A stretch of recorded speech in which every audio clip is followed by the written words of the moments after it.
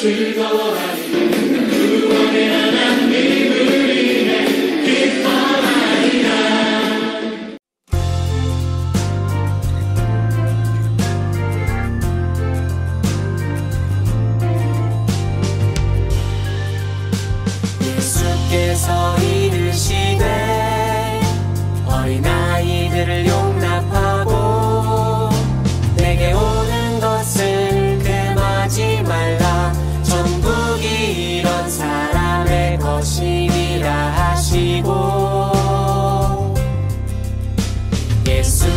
서서 이르시되 어린아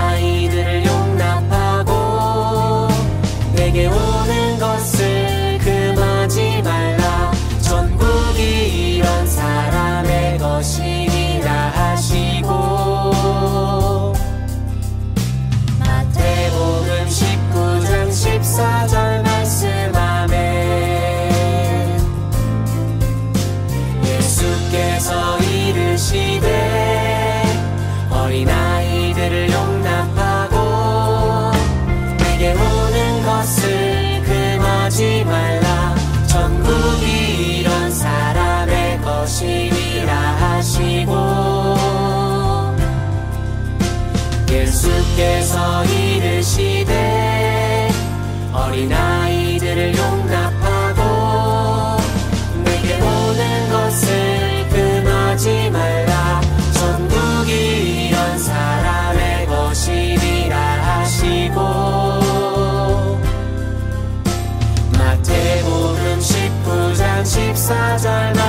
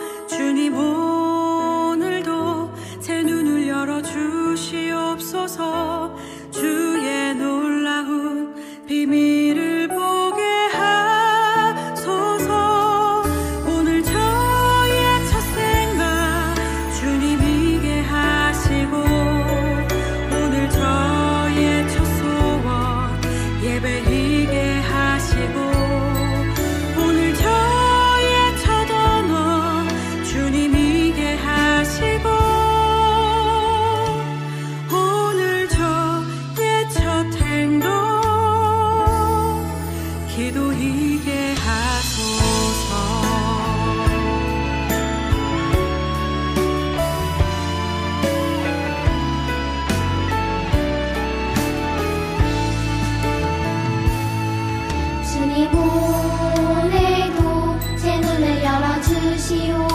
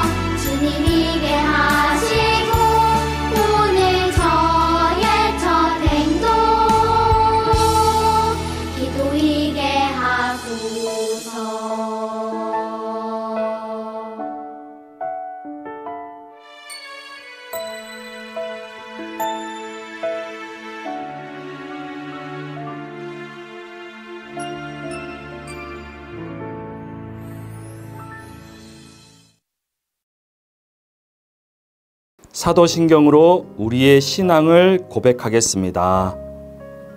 나는 전능하신 아버지 하나님, 천지의 창조주를 믿습니다.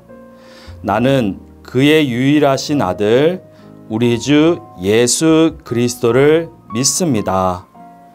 그는 성령으로 잉태되어 동정녀 마리아에게서 나시고 본디오 빌라도에게 고난을 받아 십자가에 못 박혀 죽으시고 장사된 지 사흘 만에 죽은 자 가운데서 다시 살아나셨으며 하늘에 오르시어 전능하신 아버지 하나님 우편에 앉아 계시다가 거기로부터 살아있는 자와 죽은 자를 심판하러 오십니다.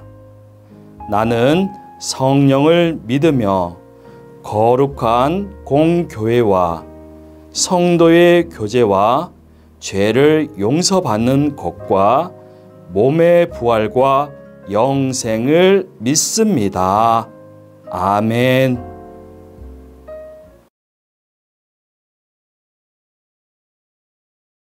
사랑하는 하나님 아버지, 항상 저희와 함께 하시며 보호하시니 두려워하지 않아도 된다고 말씀하신 하나님께 감사드립니다. 지난 한 주 학교에서, 집에서, 학원에서 부모님이나 선생님 혹은 친구들이 음, 저희를 실망시키고 속상하게 했던 일들을 다 용서하고 잊어버리게 하시고 저희의 잘못한 모든 일 또한 하나님과 부모님, 선생님, 친구들로부터 용서받고 잊혀지게 하옵소서. 오늘 저희는 하나님을 찬양하고 저희의 소원을 기도로 하나님께 말씀드리며 하나님께서 저에게 하시는 말씀을 듣기 위해 이 자리에 왔습니다. 김성령 전도사님께서 하나님의 말씀을 전하실 때 저희의 마음에 큰 감동이 있어 살아가는 동안에 그 말씀을 기억나게 하시고 우리에게 힘이 되게 하시며 지켜야 할 기준이 되게 하옵소서. 하나님, 하나님은 선하시고 우리를 사랑하셔서 저희에게 가장 좋은 것을 주시기 위해 애쓰는 분이심을 믿습니다. 저희도 그 사랑을 잘 받을 수 있도록 애쓰게 하시고 하나님을 사랑하여 하나님의 이름을 더욱 높여드리는 삶을 살게 하소서. 하나님, 저희 교회가 새 성전을 건축하려고 준비 중입니다. 하나님의 일에 서로 마음 상하는 일 없고, 음, 지혜롭게 일이 잘 되어 성전 건축이 하나님의 뜻대로 잘 이루어지게 하옵소서 예수님의 이름으로 기도합니다. 아멘. 샬롬 안녕하세요. 성령전도사님이에요. 벌써 5월의 마지막 주가 되었어요. 남은 5월도 새롭게 다가오는 6월도 하나님의 말씀을 최고로 삼으며 살아가요. 함께 오늘의 제목 읽어보아요. 시작! 능력의 하나님이 우리를 인도하세요. 잘 읽어주었어요. 여러분, 여러분은 항구에 가본 적이 있나요? 항구에 가면 큰 배들이 들어오고 나가는 장면을 볼 수 있어요. 여행하는 배들과 물건을 실은 배들이 이동하는 거예요. 그런데 그렇게 많은 배들이 서로 부딪히지 않고 이동하는 게 놀랍지 않나요? 바다에는 신호등이나 도로도 없는데 말이에요. 어떻게 그 많은 배들은 질서 있게 다닐 수 있을까요? 그것은 바로 도선사, 도선사가 있기 때문이에요.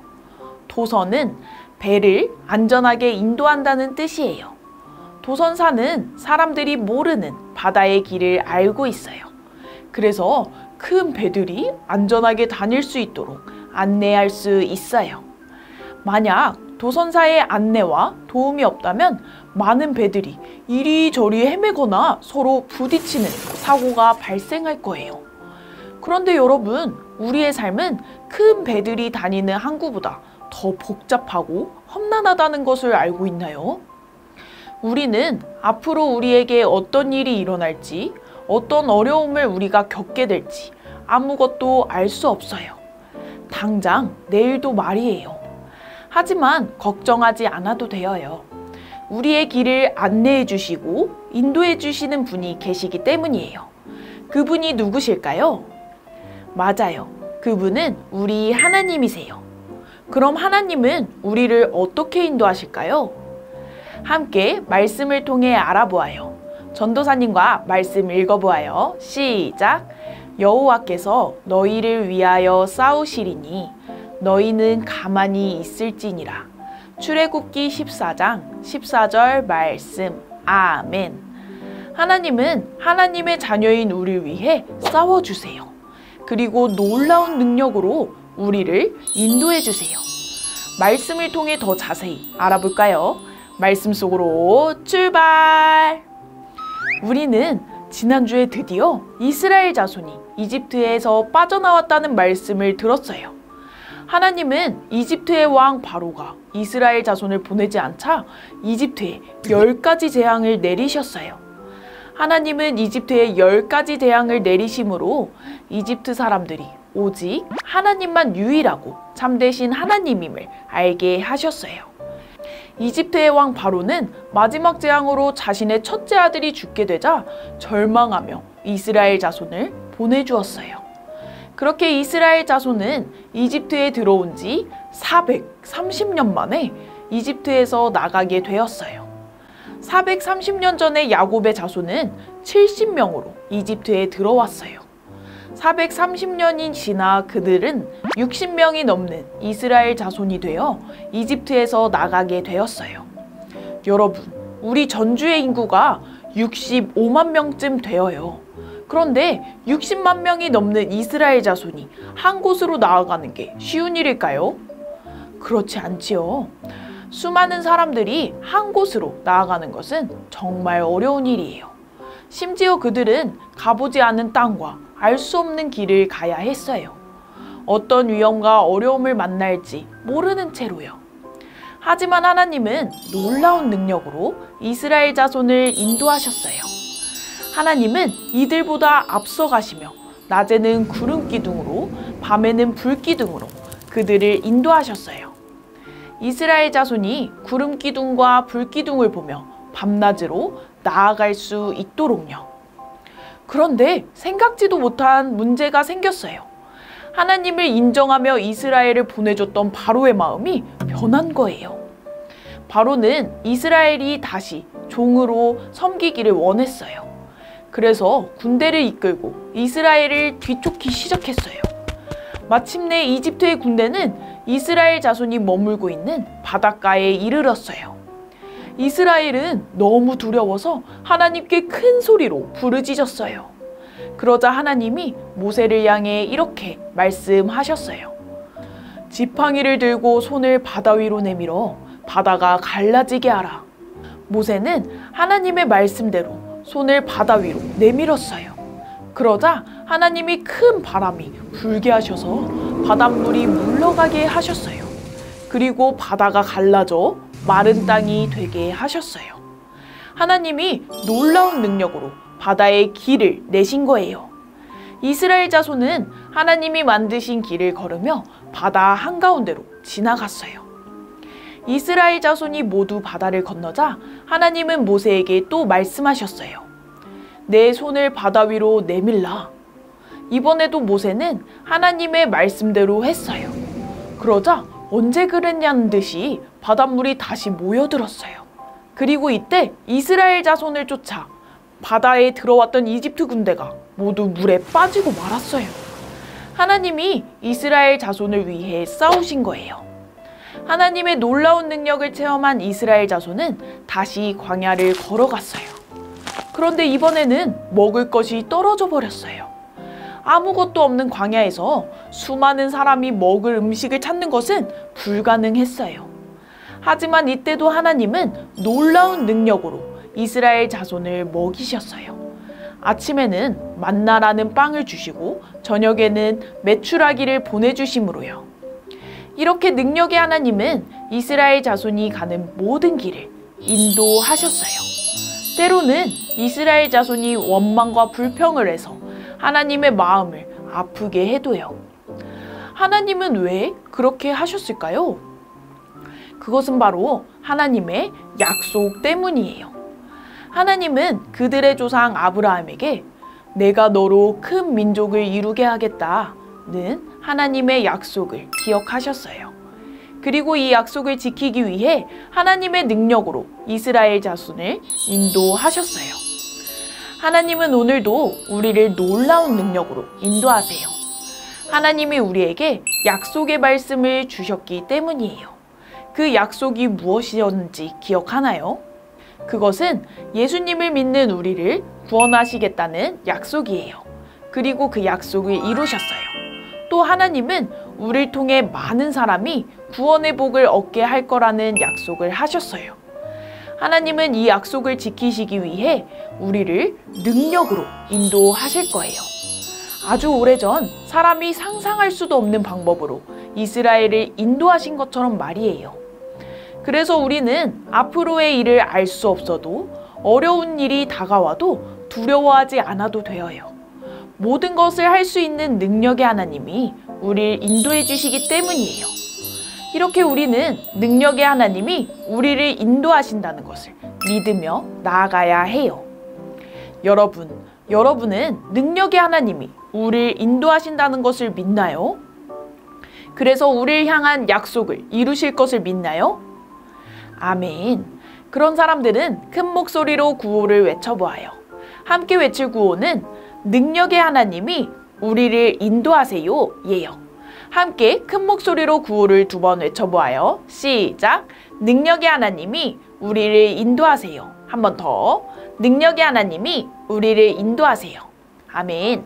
우리가 외친 것처럼 능력의 하나님이 우리를 인도하셔서 마침내 약속을 이루실 것을 믿으며 나아가요. 함께 두 손 모으고 두 눈 감고 기도해요. 하나님, 오늘 말씀을 통해 능력의 하나님이 우리를 인도해 주신다고 말씀해 주셔서 감사해요. 그리고 그 과정을 통해 약속을 이뤄 주시겠다고 약속해 주셔서 감사해요. 우리가 이 말씀들을 기억하면서 두려워하지 않게 해주세요. 그래서 앞길을 몰라 두려울 때에도 어려운 일이 다가올 때에도 하나님을 믿으며 나아가게 해주세요. 그럴 때 하나님의 능력을 경험하게 해주시고 이런 우리를 통해 하나님의 약속을 이루어 주세요. 감사드리며 예수님의 이름으로 기도합니다. 아멘.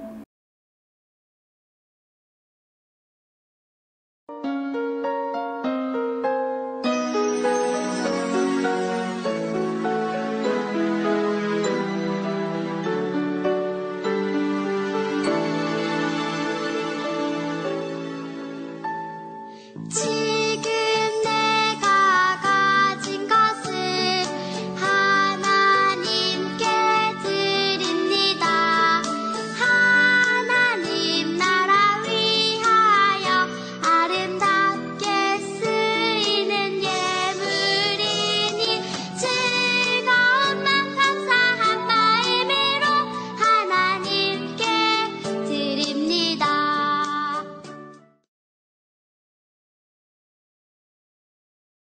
이제 준비한 예물을 하나님께 드리며 함께 기도하겠습니다. 사랑의 하나님, 언제나 좋은 것으로 우리에게 주셔서 감사해요. 염려하고 걱정하지 않고 항상 하나님께 구하고 하나님의 도우심을 기대하며 살아가는 우리가 되기를 원해요. 베풀어 주신 은혜에 감사를 드리며 정성껏 준비한 예물을 드립니다. 우리의 예물을 기쁘게 받아주세요. 이 예물이 하나님 나라를 위해 쓰여지길 간절히 바라며 이제는 예수님의 은혜와 하나님의 사랑과 성령님의 인도 보호하심이 하나님의 능력과 인도하심을 믿고 하나님의 자녀로 살아가기를 결단하며 나아가는 전주 안디옥 교회 유년부 초등부 친구들에게 그리고 그 가정과 선생님에게 영원토록 함께 하시기를 예수님의 이름으로 축복하고 기도합니다. 아멘.